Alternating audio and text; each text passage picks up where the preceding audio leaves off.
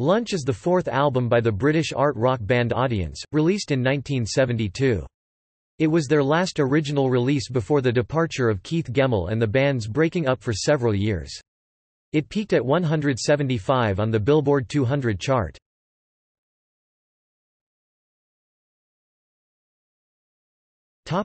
Track listing Unless otherwise noted, all tracks are credited to Werth, Williams.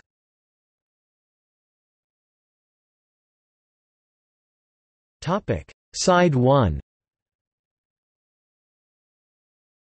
Stand by the Door, Werth 356.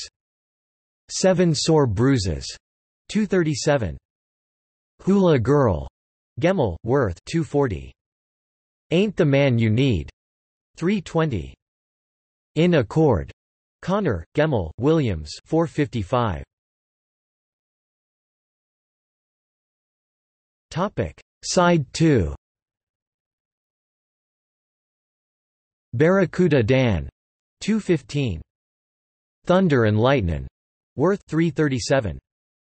Party Games 320.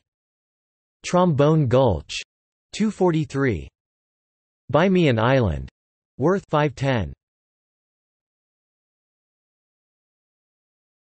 Topic: Personnel.